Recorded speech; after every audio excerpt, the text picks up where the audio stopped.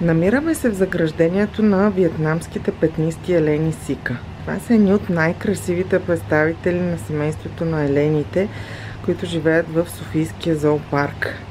Също така те са и рядък вид, който е изчезнал в дивата природа.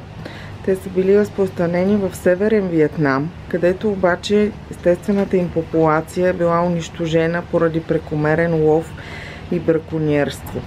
Сега тези красиви елени са разселени на много места по света. През лятото а, тяхната козина става по-къса, канелено-кафява с красиви бели петна. Това двогодишно еленче, родено в Софийския зоопарк и може да видите как неговите рога имат две разклонения, покрити с мъхеста кожа, която се нарича лико. До края на есента те доста ще пораснат и в началото на годината ще паднат.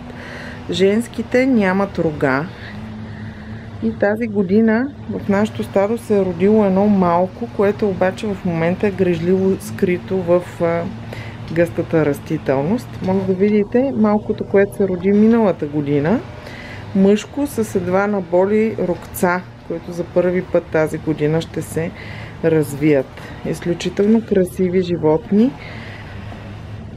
които нашите посетители могат да видят в сектор тревопасни животни.